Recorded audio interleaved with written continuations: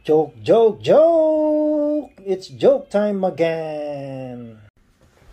Okay, I will. Uh, I will tell you a story of uh, Inday.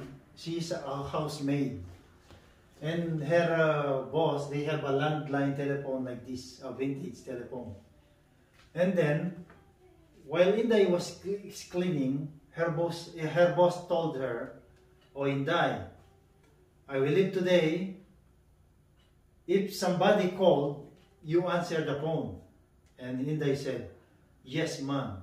You already know how to use telephone, right? Yes, ma'am, Inday said. And then after that, the phone was rung.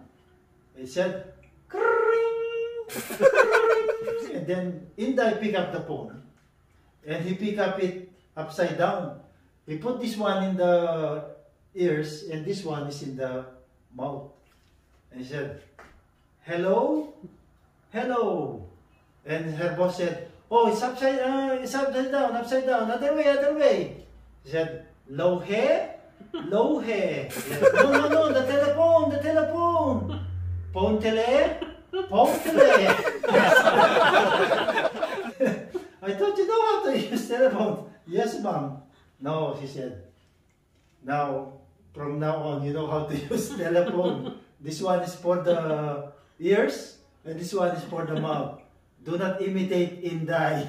Thank you for watching. And shout out to uh, my uh, subscribers.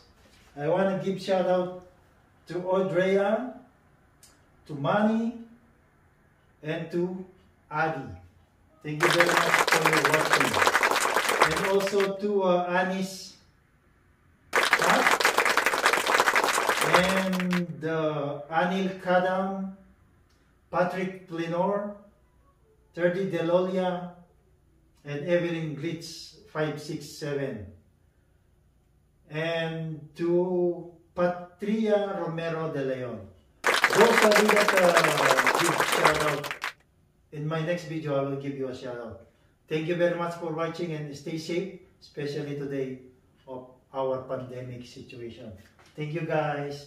Keep on watching my video. Bye-bye.